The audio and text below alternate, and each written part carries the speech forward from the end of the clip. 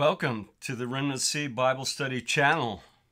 Today's subject is the dry bones of Ezekiel. Let's go to Ezekiel 37 9. Then said he unto me, Prophesy unto the wind, prophesy, Son of Man, and say to the wind, Thus saith the Lord God, Come from the four winds, all breathe, and breathe upon these slain, that they may live.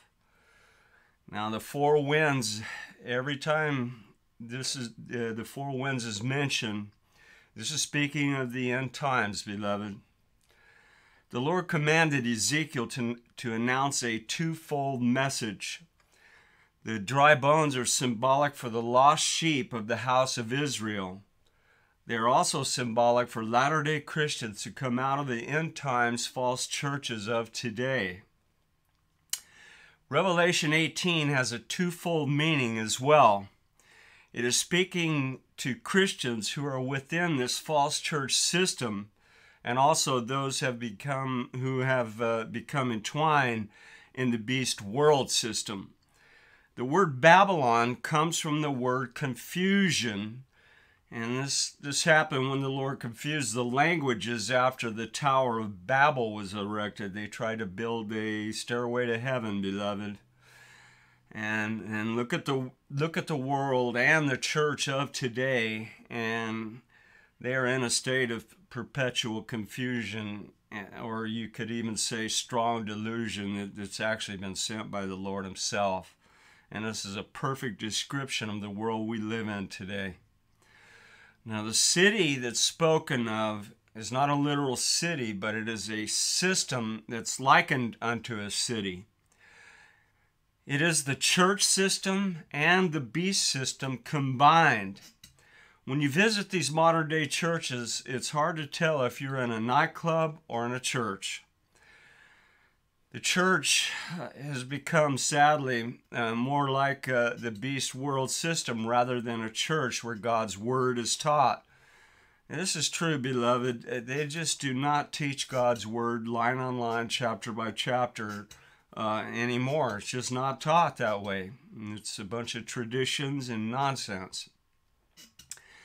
They teach a combination of the traditions of men and psychology, and God has rejected it.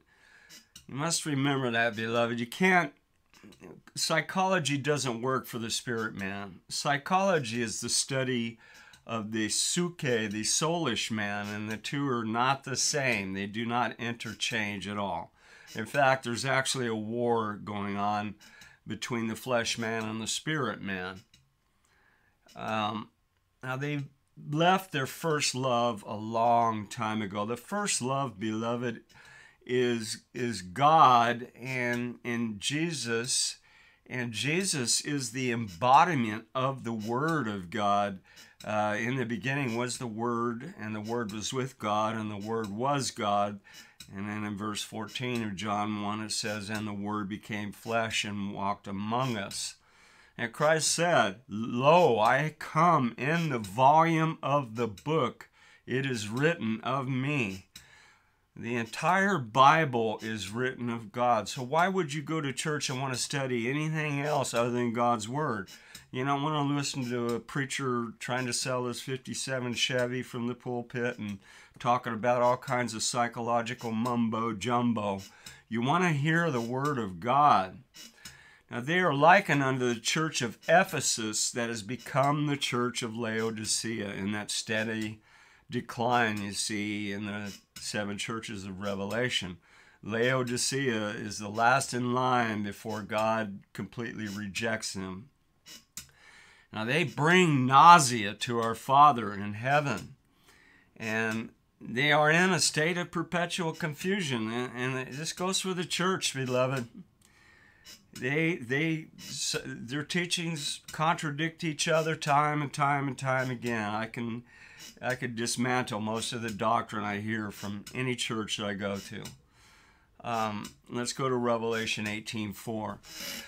And then I heard another voice from heaven say, Come out of her, my people, so that you will not share in her sins, so that you will not receive any of her plagues. And the light of the candle sh- shall shine no more at all in thee, and the voice of the bridegroom and of the bride shall be heard no, no more at all in thee. For thy merchants were the great men of the earth, for by thy sorceries were all nations deceived. And you can see this. These, these are all terms found within the church. A candlestick is, uh, you know, it's, it's the light. It's a light. It's a platform from which the word of God is preached from. The bridegroom and the bride.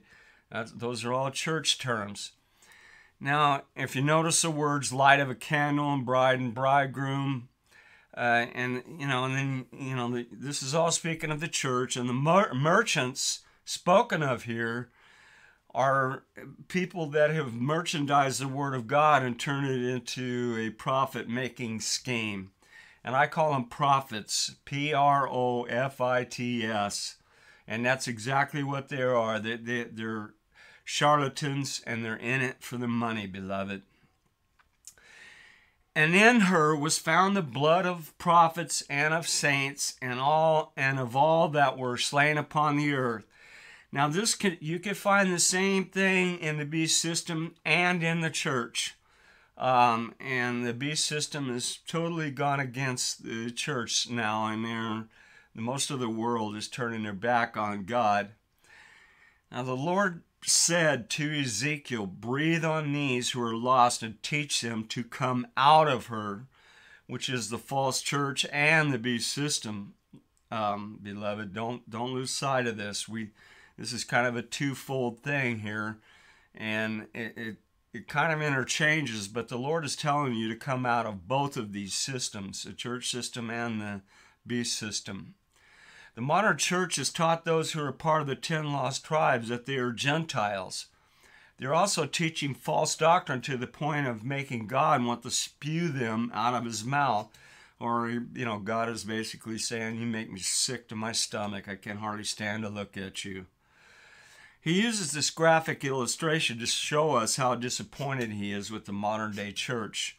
He hasn't rejected her yet, but there will come a time in history when he will, beloved, and we are very close. Four winds are always symbolic of the end times. The slain are the spiritually dead, and to awaken them, they must be taught who they are and what their heritage is from the Word of God. And this is not being done at all by the modern church, beloved. They are the, the, the house of Israel is truly lost in their eyes. This is all in the setting of the end times, and make no mistake, this the end time we are in the end times. Verse 10 So I've prophesied as he commanded me, and the breath came into them, and they lived and stood upon their feet, an exceeding great army. Now, this is talking about the house of Israel and the end times church, and talking about the ones who suddenly realize their their heritage from the ten tribes, and then also the churches, uh, the people within these churches that realize they're being taught false doctrine, and they come out of her. And the ones who have eyes to see and ears to hear will hear the call of Elijah. And, and beloved, Elijah is alive and well in the end times and calling these people to awaken. And they will awaken from their spiritual slumber to form a great and mighty army to stand against Satan in the end times. And make no mistake, beloved, nobody's going to fly away in a rapture as taught by the modern false church, this modern day escapism. The easy way out, everything is easy, everything comes easy. You don't have to go through anything. You don't have to take up your cross and bear it. You know, uh, you know, Shadrach, Meshach, and Abednego had to go through the fire and they believed uh, God for his faithfulness, and God brought them through, just as he will us through the end times, beloved. If the Lord is with you, nothing bad is going to happen to you. Now, the Lord is saying, is speaking to those in the whole house of Israel who are lost and they don't know who they are. Under the, under the current church system, there's no hope of them ever finding out who they are. And, and also, the same goes for Christians. There, there's really no hope for them if they keep on going in this current church system and listen to all the nonsense that's been been coming out of the pulpits of today. Verse 12 Therefore prophesy and say unto them, Thus saith the Lord God, Behold, O my people, I will open your graves and cause you to come up out of your graves and bring you into the land of Israel. This is not a literal grave, beloved. This is this form of degradation. It's a form if if you're confused and you don't know the word of God, you're basically in a sense in a grave, a spiritual grave because you're ignorant. Verse 13, and you shall know that I am the Lord when I have opened your graves, O my people, and brought you up out of your graves. In other words, bring you up out of your confusion into the knowledge of the truth. Verse 14, and shall put my spirit in you, and ye shall live, and I shall place you in your own land. Then ye shall know that I have spoken it and performed it, saith the Lord God.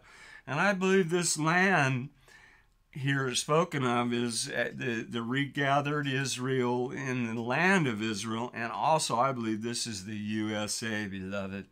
And I believe the USA is the regathered Israel where the 10 lost tribes have migrated to. That's who we are comprised of mainly. And their bones in the dry bone, dry as a symbol of, of, of um, ignorance. And the true house of Israel aren't aware of who they are. The mainstream church academia has been hijacked by the forces of darkness, whether they know it or not, beloved.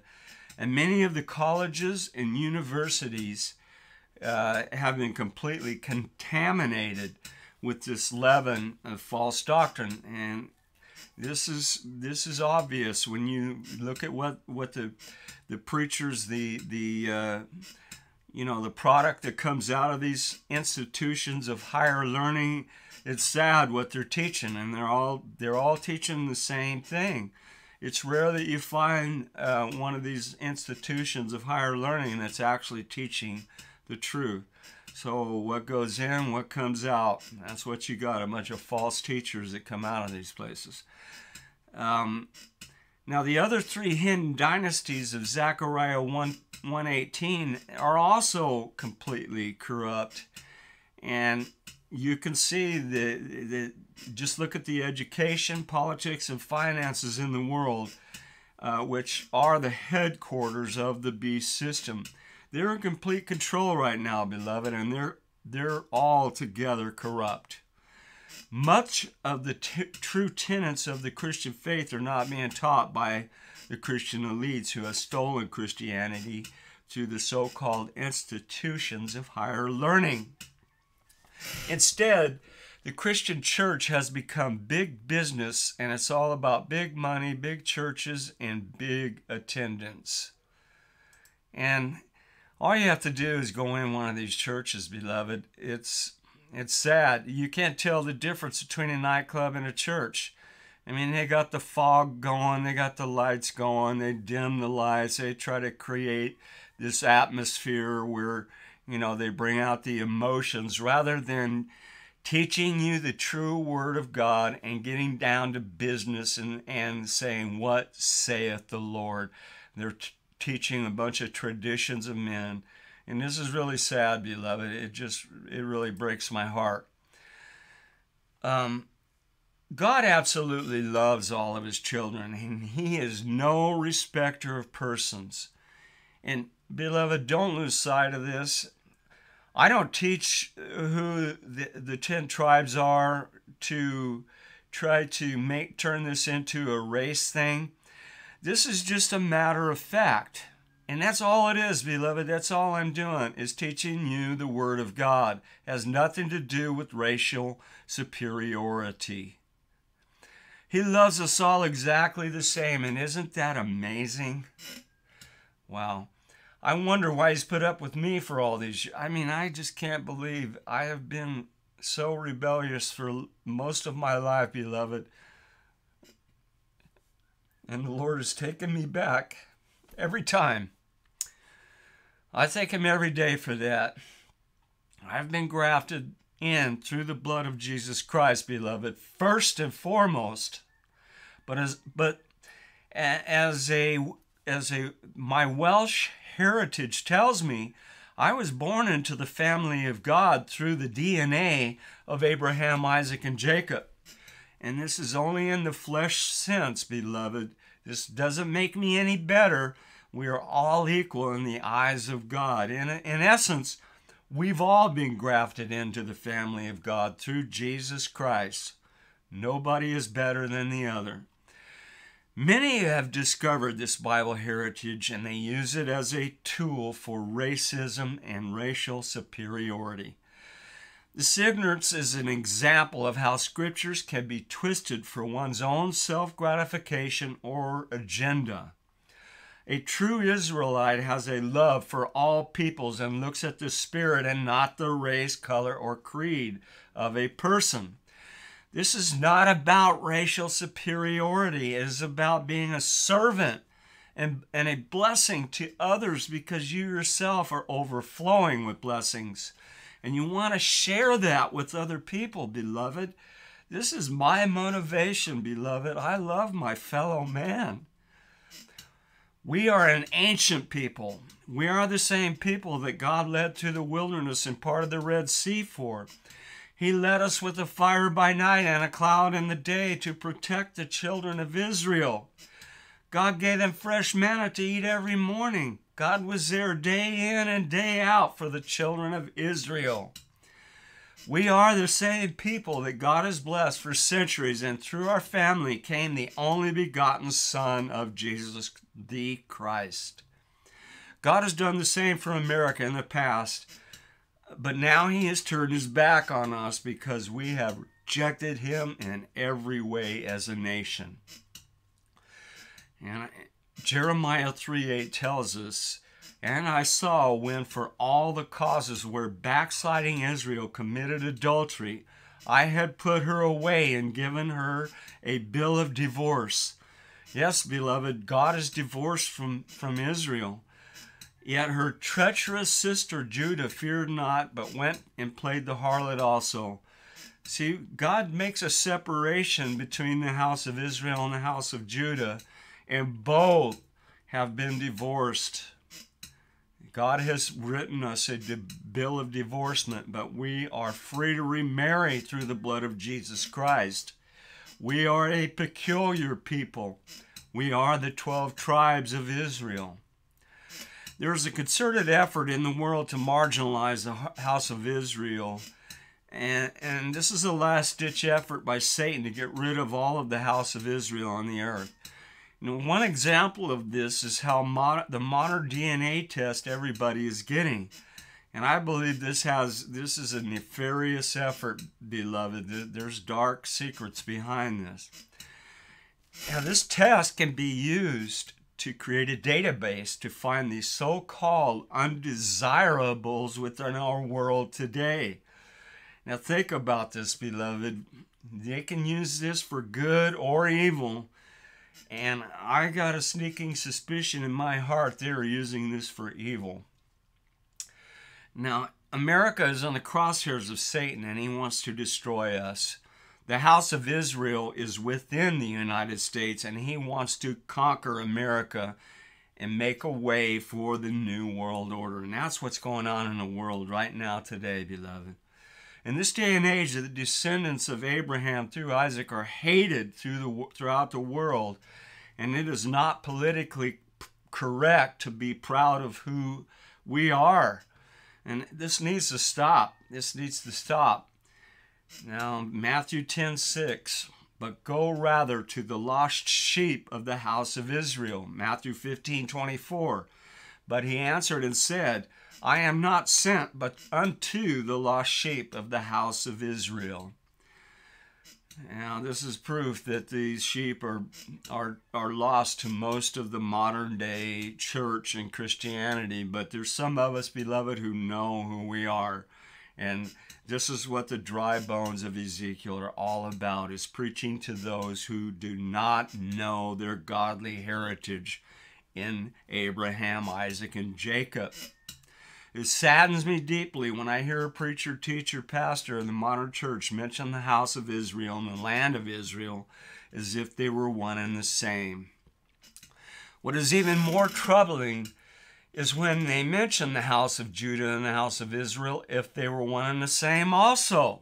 They just lump them all up into one into one tribe. All the 12 tribes are just one tribe, the tribe of, of Judah, or the Jews. So, because of this, all their so called theology, I put that in quotes, is flawed because of this fact, and they're unable to connect many of the dots in the Word of God because of this. And, and because of this, they lead their congregations astray from the true Word of God. Dry bones in America, wake up before it's too late. Your godly heritage is being stolen from you right now.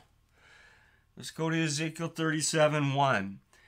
And the hand of the Lord was upon me, and it carried me out of the Spirit, out in the Spirit of the Lord, and set me down in the midst of the valley, which was full of bones. He said, the dry bones again. It caused me to pass them, but, them round about, and behold, there were very many in the open valley, and lo, they were very dry, they were very ignorant. And he said unto me, Son of man, can these bones live? And I answered, O Lord God, thou knowest. And he said unto me, Prophesy unto these bones, and say unto them, O ye dry bones, hear the word of the Lord. And that's what I'm trying to do right now, beloved. Hear the word of the Lord. Now, you must understand that the role of the USA in the end times is very important. Most of mainstream Christianity will tell you the other 11 tribes are lost forever, but they haven't taken the time to find out where they are. They lump all of the 12 tribes into the single tribe of Judah and forget about the other 11 tribes that have migrated to the USA. Beloved, why do you think America is the greatest nation that ever existed? It's because God has brought a fire by night and a cloud by day to protect America.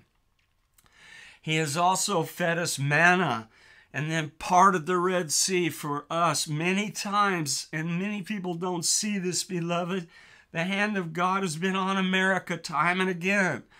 He delivered his children out of the hand of Pharaoh and delivered America out of the hands of her enemies time and time again.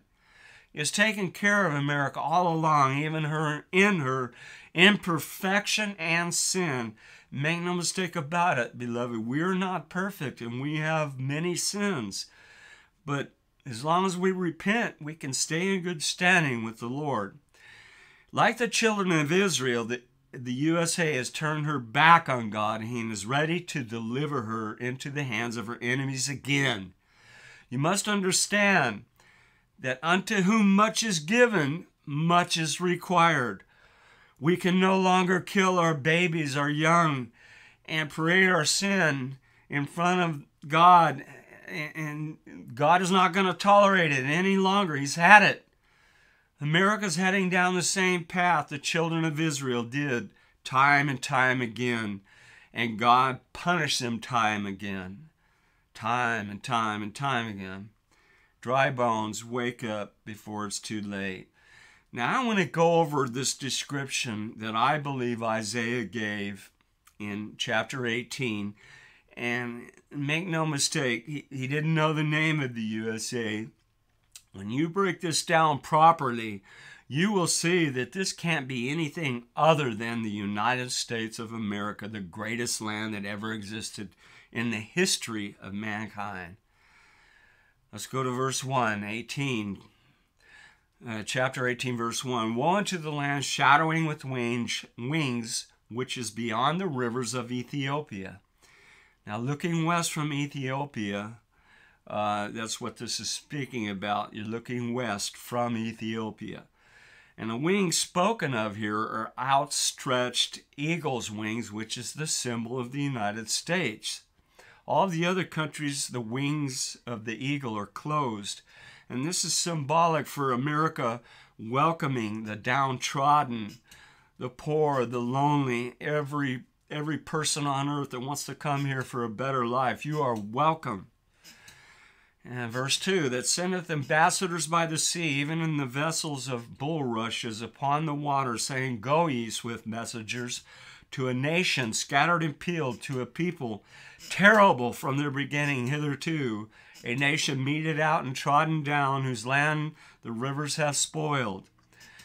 Now, the word bulrush would be better rendered water drinking vessel, such as a steamship who sent who else and who else sends ambassadors all over the world and this is a primitive you know rendition of uh, modern ships that we have today but a lot of these ambassadors go by ships to the rest of the world that come from the united states but you know now we use airplanes you know beloved but this is symbolic of vessels that carry these ambassadors to all over the world and the United States is basically, we have ambassadors to every country on earth. Verse 3 All ye inhabitants of the world and dwellers on the earth, see you when he lifted up an ensign on the mountains, and when he bloweth a trumpet, hear ye. When America takes up a standard against you, you had better beware. And that's basically summing up what that verse is saying. Verse 4 For the, so, for the for so the Lord has said unto me, I will take my rest, and I will consider in my dwelling place like a clear heat upon herbs, and a cloud of dew in the, in the heat of harvest. For, for afore the harvest, when the bud is perfect and the sour grape is ripening in the flower, he shall both cut off the springs with pruning hooks and take away and cut down the branches and they shall be left together, and the fowls of the mountains and the beasts of the earth, and the fowls shall, shall summer upon them, and all of the beasts of the earth shall winter upon them.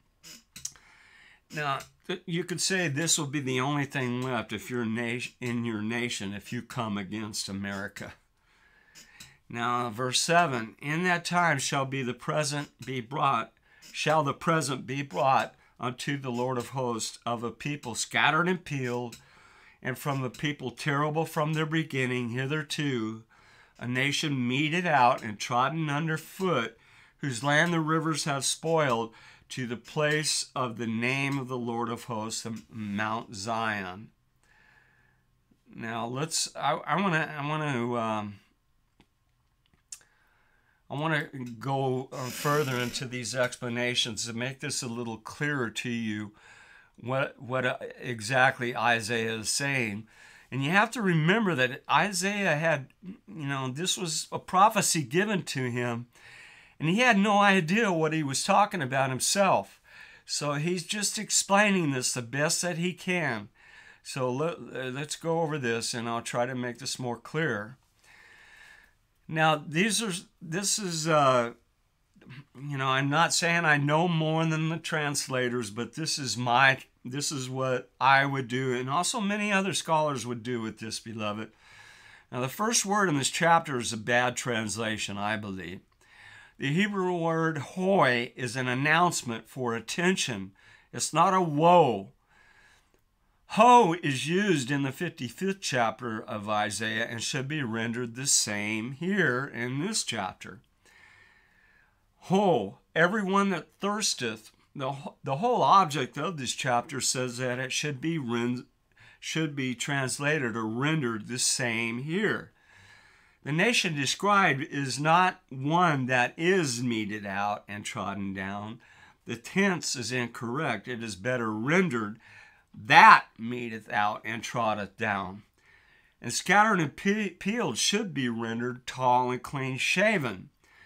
Now, Isaiah, of course, did not know this, but the Native Americans at this time were tall and clean shaven because they had no facial hair and they were the tallest race in the known world at that time, or any, in, you know, basically any time, except for some exceptions. Now imagine a tall tree with the bark with the bark peeled off, and that that will better help you to understand tall, you know, peeled as you peel the bark off, and to a face that's clean shaven, and, and none of these they didn't have beards or anything like that, no facial hair, maybe a mustache, you know, but not a beard. Now to the phrase uh, its land the rivers have spoiled would better be rendered divided or quartered. And if you study this, you'll see there are 38 rivers that divide America, and no other nation can fit this description. You know, just look at the Colorado River and the Mississippi. They're both great rivers. This nation has rivers just all over, and there are 38 of them that, from what I can count. Now just look at a map of the USA. It is plotted out by boundaries for the different states, just as a plot of land is when you survey it. That's what a surveyor is. He plots out land, he, he treads it out, he measures it out. To make this clearer, you can imagine a man using his steps to tread out a certain boundary from one point to another. And, you know, now we use lasers and all kinds of expensive equipment to do this, beloved. We don't use our feet anymore and take a guess at what we're doing.